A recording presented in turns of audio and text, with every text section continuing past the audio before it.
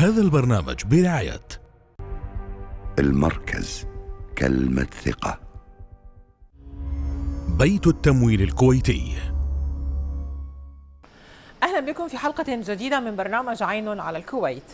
ارتفاع أسعار النفط ربما هو الخبر الأهم والأبرز بالنسبة للكويت التي تعتمد على النفط كمصدر أساسي للدخل. ومن المتوقع أن تسجل الكويت نموا في الناتج المحلي الإجمالي بنحو 5% خلال العام الحالي. ولكن كل هذا مرهون باستقرار الأسواق وانحصار الوباء.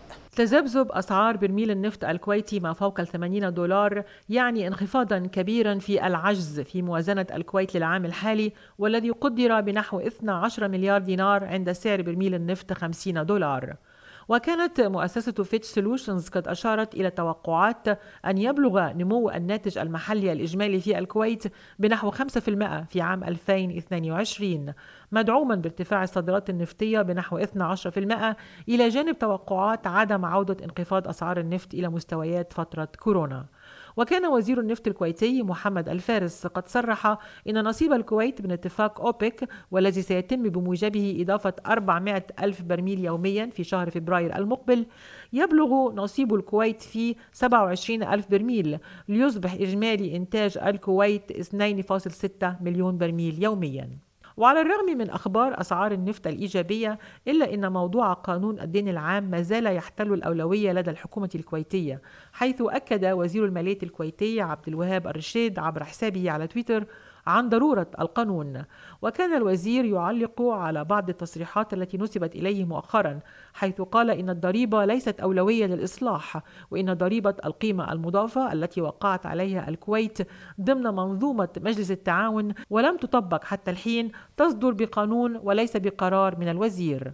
وتعد منظومة الضريبة أحدى المقترحات المطروحة لتعظيم دخل الدولة في ظل عدم استقرار أسعار النفط. ويذكر أن صندوق الثروة السيادي الكويتي قد مكنها من امتصاص الصدمة التي تسبب فيها انخفاض أسعار النفط خلال الفترة الماضية إلا أن وكالات التصنيف العالمية تؤكد على ضرورة إيجاد بدائل للتمويل مستقبلا تستطيع الكويت اللجوء إليها عند الحاجة. وكانت وكالة موديز قد أشارت في تقرير لها أن التحول الذي يشهده العالم تجاه الطاقة المتجددة سيشكل ضغوطات كبيرة بشكل خاص على الكويت والعراق وسلطنة عمان وعلى المدى الأبعد على أذربيجان وقطر وأبو ظبي والسعودية. وما زالت الكويت تسجل ارتفاعا في حالات الإصابات بفيروس كورونا والتي تجاوزت الأربعة ألاف حالة يوميا بعد أن كانت قد انخفضت إلى أقل من 15 حالة في اليوم. ولكن الشيء الجيد أن هذا الارتفاع في الإصابات لا يصاحبه ارتفاع في حالات الوفيات. ولكن الكويت اتخذت إجراءات احترازية جديدة من بينها خفض نسبة الحضور في الدوائر الحكومية. معدل الإصابات اليومي غير المسبوق والذي تجاوز الأربعة آلاف إصابة دفع السلطات في الكويت صوب العودة إلى فرض جملة إجراءات للتعامل مع احتواء الزيادة اليومية المفترضة في أعداد الإصابات. أهمها العودة إلى تقليل أعداد العاملين في الدوائر الحكومية وتقديم الخدمات الحكومية المختلفة عبر الأونلاين. تحدد نسبة عدد العاملين في مقار العمل الحكومية بما لا يتجاوز 50% وتتولى كل جهة حكومية تحديد النسبة الملائمة لها بما لا يجاوز هذا الحدود وفقا لمقتضيات المصلحة العامة وظروف العمل وفي حال الحاجة إلى الزيادة يتم التنسيق مع ديوان الخدمة المدنية. وكان ملحوظا في الإجراءات الأخيرة التشديد على ضرورة تلقي الجرعة التنشيطية الثالثة وعلى إعادة تعريف متلقيها بأنه كامل التحصين وأنه يستطيع بموجبها الولوج إلى خدمات وأماكن كثيرة. تكليف اللجنة الرئيسية لمتابعة تنفيذ الاشتراطات الصحية المتعلقة بمكافحة انتشار فيروس كورونا بالتأكد على العاملين ومرتادي كل من صالونات محلات الحلاقة الأندية الصحية بضرورة اكتمال التحصين ضد فيروس كورونا. بيد أن ارتفاع أعداد الإصابات كان مصحوبا بشيء من الاختلاف فرغم تجاوز الأربعة آلاف إصابة تقول السلطات إن أعداد من دخلوا أجنحة المستشفيات أو الرعاية المركزة قليل للغاية وهي مؤشرات ينظر إليها بشيء من الاطمئنان. والله أنا أشوفها بصراحة بصدق يعني أشوفها نزلات برد عادية. نفس ما كانت تينا الإنفلونزا النشلة والبلاعيم ويعني بالكويت البلاعيم اللوز. وال يعني الزكام العادي هذا أنا أشوفه. أنا ما أشوف آه، شيء اوفر حرارة وكحة ونشلة ونفس الانفلونزا العادية تشبهها جدا. وإذا كانت السلالة الأخيرة من كوفيد 19 طرأت عليها تغييرات خففت من تأثيراتها فإن السلطات الصحية أيضا تعاملت معها بأسلوب مختلف فحتى الآن لم يتم اتخاذ إجراءات صارمة مثل إغلاق المنافذ أو فرض الحظر الجزئي أو الكلي ولم يتم إغلاق المدارس واكتفي بفرض قيود على التجمعات والأفراح. ما في لا التزام لا بالمجمعات ولا بالمدارس حتى بالمدارس ما في تباعد اجتماعي. حتى لجنات الاختبار ما يلبسون الكمامات يعني ما في التزام. هذا السبب اللي قاعد يزيد الحالات حاليا. الحين لازم واحد كل واحد يتحمل مسؤولية. صار في وعي. خلاص عرفوا إن هذا المرض ينتشر بطريقة سريعة. مثلا اللي يروح عمرة يحجر نفسه فترة بعدين يسوي ال PCR وبموازاة ذلك لوحظ أيضا إقبال شعبي طوعي كبير على تلقي الجرعة التنشيطية الثالثة والتي بدت أكثر قبولا بعد الأنباء التي وردت عن انتشار السلالة المتحورة وعن فعالية الجرعة التنشيطية في تحصين متلقيها. يعني أنا شايفة الجرعتين ما حموا 100% وأنا شفتها يعني إنها سبب عشان تسافر عشان تدش مجمع عشان تدش جمعية. اللي اللي, اللي الواحد يعني مثلا يقولون يحتاط يحتاط بالتباعد وبالكمام هذا أفضل شيء. في ناس خذوا الجرعة الأولى والثانية وبعد صادتهم كورونا. أخذ ثالثه ليش؟ بعد راح يصيدني. رغم رقم الإصابات غير المسبوق ورغم تجديد إجراءات الفحص خاصة للقادمين إلى البلاد فإن مصادر تتوقع أن يتم تقليص مدة الحجر الصحي للمصابين أو للمخالطين لهم وتشير ذات المصادر إلى أن السلطات في هذا الصدد تتماهى مع بعض إجراءات التخفيف المعمول بها عالميا خاصة مع المحصنين. وألقت كورونا بظلالها على مجلس الأمة الكويتي حيث أعلن رئيس مجلس الأمة مرزوق الغانم عن إصابة عدد من العاملين في المجلس وإصابة نائب واحد على الأقل حتى الآن. وكان قد أصدر تعميما بضرورة عمل فحص PCR لكل من يرغب في حضور جلسات المجلس. نحاول قدر الإمكان أن نعقد الجلسات ونتعهد بتطبيق كافة الاشتراطات والإحترازات الصحية ومنها أن يقوم النواب وموظفي الأمانة بالفحص. وهذا ما تم. رسائل أرسلت إلى الأخوة النواب والموظفين. عدة رسائل. أنا حتى غرت لتذكير النواب بالمسحات والله الحمد يعني الغالبية الساحقة من النواب والموظفين كانوا متعاونين. للأسف يعني العدد المصابين من الموظفين طلع عدد كبير جدا. نسأل الله سبحانه وتعالى لهم السلامة. وثبت إصابة آه بعض ال ال إنه على الأقل واحد اللي من اللي أجروا المسحات إلى أمس وهناك اشتباه في آخرين أيضا نتمنى لهم السلامة.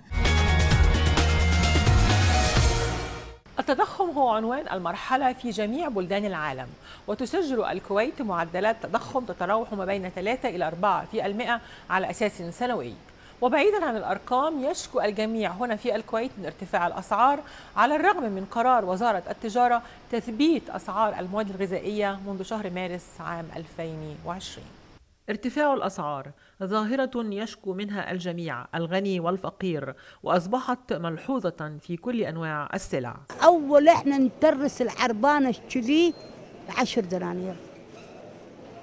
الحين ما مو شاري شيء يقول لك 20 23 25 ليش؟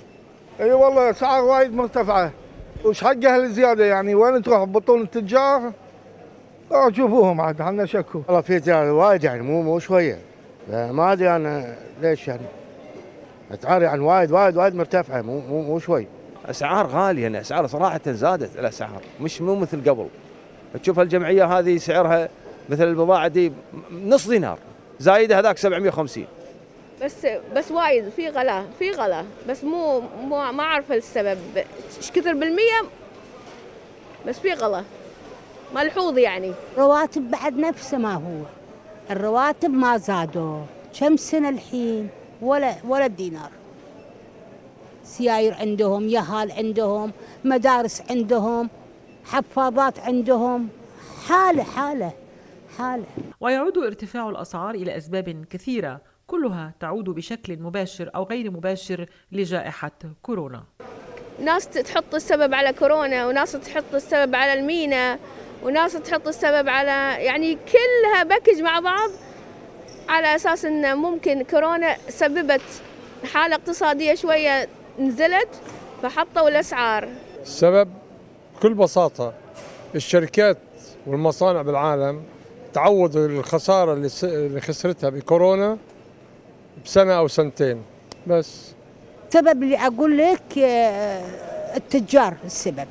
ماكو أحد. سبب أي شيء إلا التجار. ولكن ربما التجار هذه المرة ليس لهم باليد حيلة. حيث إن ارتفاع أسعار سلاسل الشحن عالميا نتيجة للإجراءات التي فرضتها جائحة كورونا تسببت في ارتفاع أسعار جميع المواد. الشحن يلي كتير تأثر والأوقات التوريد تأخرت يعني اليوم الشحن صار ثلاث مرات أسعاره طلعت. الفترة يلي أنت بتجيبك أنت فيها بضاعة من من الصين مثلا للكويت كانت تاخذ 28 يوم صارت تطلع فوق الشهرين. وعلى الرغم من ارتفاع أسعار المواد الغذائية عالميا بنحو 28% خلال العام 2021 وذلك طبقا لمنظمة الفاو إلا أن وزارة التجارة في الكويت أصدرت قرارا في مارس 2020 ومع بداية الجائحة بتثبيت أسعار السلع الغذائية وتقوم إدارات الجمعيات بالتأكد من الالتزام بالقرار. مثل ما قلت لك الحد من أسعار المواد يجب أنك تلتزم في التعاميم الصادرة من الاتحاد. ومراقبة الأسعار. في كل جمعية يوجد قسم مراقبة أسعار مراقبة أسعار لبعض الأصناف الموجودة في الجمعية. وقد أدى قرار تثبيت أسعار المواد الغذائية إلى ضغوطات على تجار التجزئة الذين يطالبون بوقف العمل به والسماح لهم برفع الأسعار بنسب متفاوتة. ولا يزال القرار ساريا حتى اليوم مما يتسبب في ضغوطات على التجار ويؤثر على استيراد بعض أنواع السلع الغذائية الكمالية مثل بعض أنواع الشيكولاته ولكن ارتفاع الأسعار عالميا في النهاية سيفرض نفسه مما يعني المزيد من ارتفاعات في الأسعار. بعد الفاصل بورصة الكويت وشكل جديد وسيولة كبيرة. كونوا معنا.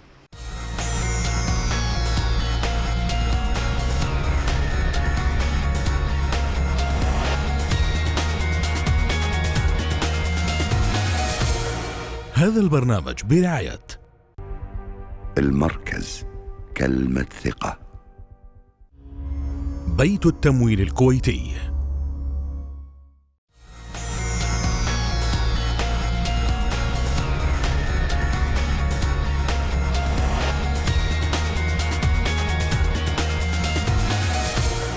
هذا البرنامج برعاية المركز كلمة ثقة. بيت التمويل الكويتي. أهلا بكم. قرعت بورصة الكويت جرس إعادة افتتاح قاعة التداول التي أطلق عليها اسم ناصر الخرافي وجاسم البحر من أكبر الأزماء التي ارتبطت بالعمل الاقتصادي في الكويت. وقال رئيس اللجنة التنفيذية في بورصة الكويت بدر الخرافي إن عملية تطوير البورصة متواصلة وتحظى بزخم في ظل التوقعات بانتهاء الجائحة وتحسن أسعار النفط والتفاؤل بالحكومة الجديدة في الكويت.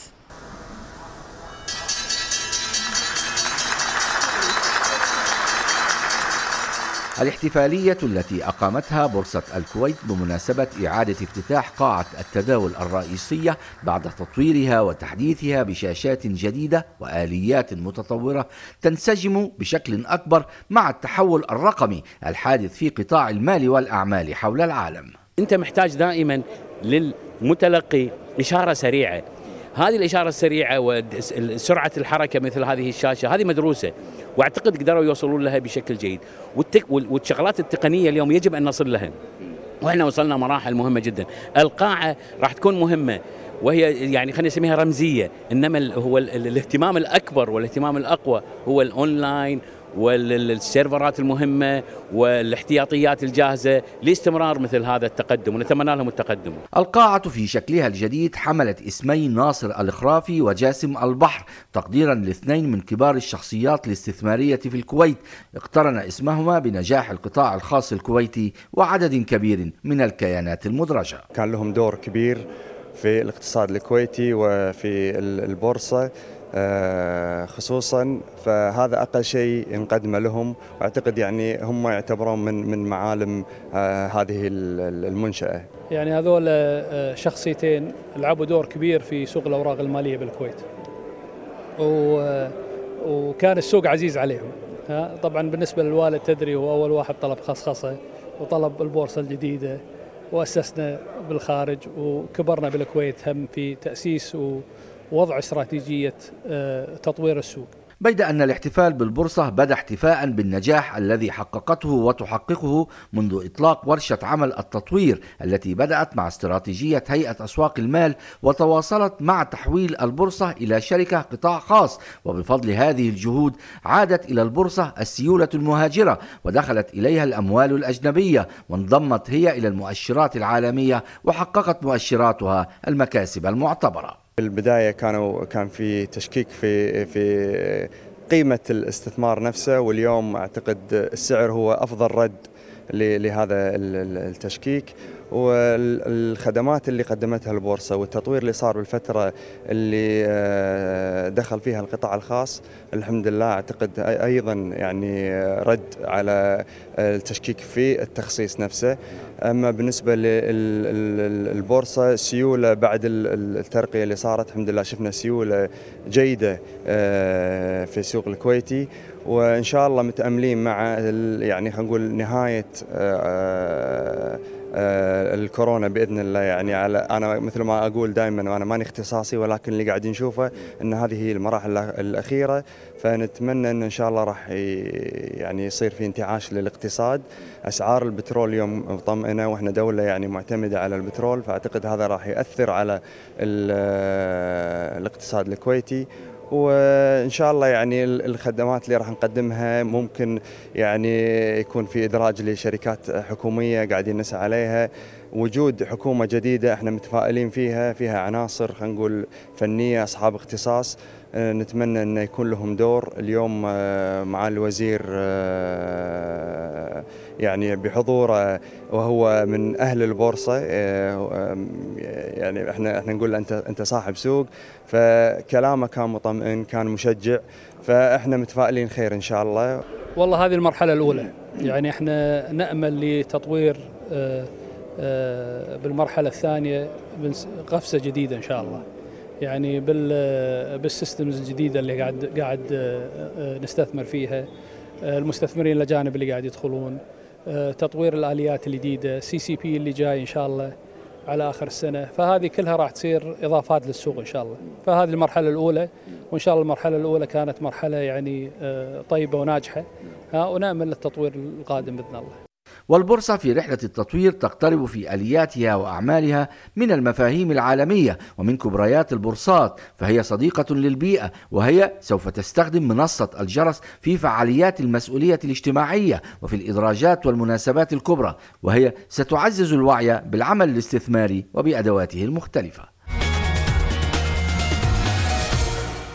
تشهد بورصة الكويت حراكا قويا وعودة لبناء المراكز استعدادا لاستقبال موسم إعلان الشركات لنتائجها لعام 2021 ويرى المحللون إن انتعاش السيولة يسري على الأسهم التي من المتوقع أن تشهد نموا كبيرا في نتائجها أو تقدم توزيعات سخية. وقد شهدت البورصة ارتفاعا كبيرا في حجم السيولة المتداولة.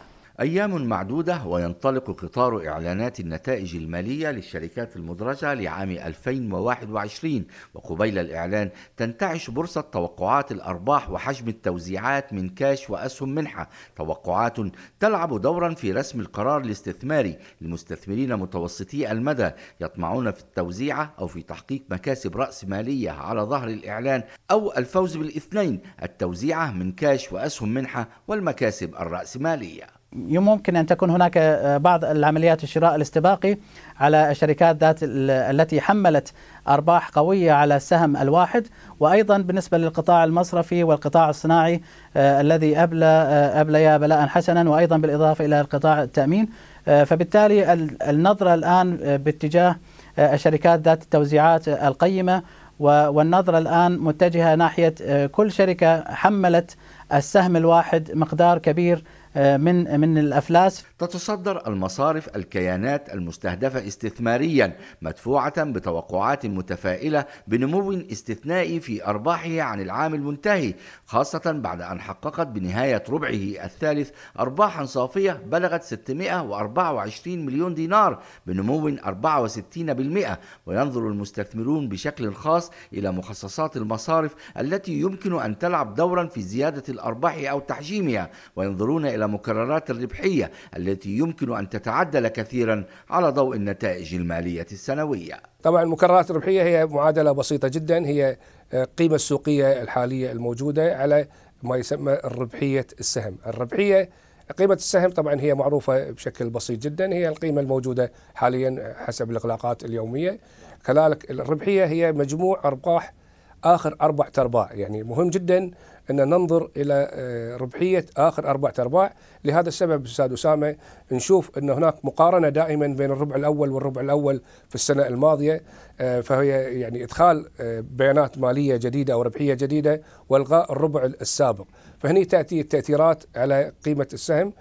وبالنظر إلى الأداء القوي للأسهم القيادية في البورصة خلال 2021 فإن شركات الصناديق تنتظر أيضا عاما إيجابيا من ناحية الأداء وربما ينطوي على توزيعات سخية. وتقف شركات الاستثمارات الوطنية والمركز المالي والكويتية للاستثمار والصناعات الوطنية في مقدمة المرشحين للاستفادة من أداء البورصة أو تلك التي قد ترضي مساهميها بتوزيعات مجزية. في عودة لمستوى طبيعي لأسعار الأسهم. شو اللي ليش وصلنا لهون؟ أنا بعتقد عدة عوامل. العامل الأول أنا بعتقد الاستقرار آه، السياسي بالكويت وبالمنطقة عامة. آه، في التعامل آه، يعني أزمة كورونا بعتقد تعاملنا معها وقدرناها بشكل جدا فعال بالكويت يلي أثنت عليها ال WHO فكمان كان دورة جدا إيجابي ونتج عنا تدفقات نقدية للسوق الكويتي من الخارج. يعني بآخر خمسة أشهر دخل علينا تقريبا 158 مليون دينار على السوق الكويتي من مستثمرين أجانب ومستثمرين خارجيين وبسبب متغيرات استثنائية فإن شركات تنتمي إلى قطاعات مختلفة قد تعلن عن نمو استثنائي في أرباحها. فأجيلتي قد تبدأ في إدراج أرباحها من بيع أنشطتها اللوجستية العالمية وزين توزع أرباحها مرحليا. وهيومن سوفت استفادت من انتظام العملية التعليمية. والخليج للكابلات باتت تمتلك حصصا استراتيجية في شركة البورصة والاستثمارات الوطنية. الصفقة هذه نقلة نوعية لمساهمين أجيلتي وأعتقد إن بالسابق القطاع هذا كان يمثل تقريبا 20% من أرباح الشركة. فبالوقت الحالي ال 20% هذه تطورت صارت قيمتها تقريبا 5 مليار. تتجه الشركات المدرجة صوب الإعلان عن عام استثنائي من ناحية النمو لكن القرار بالاستثمار ربما يقفز إلى المقارنة بالأداء في 2019 وإلى نسبة المخصصات إلى الربح السنوي وإلى حجم توزيعة الكاش وعدد أسهم المنحة. وبأخبار البورصة السعيدة وارتفاع أسعار النفط نترككم ونراكم الأسبوع القادم في حلقة جديدة من عين على الكويت.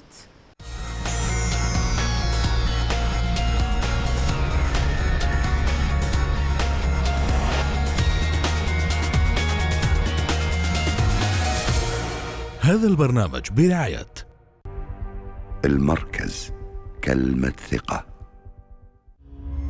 بيت التمويل الكويتي.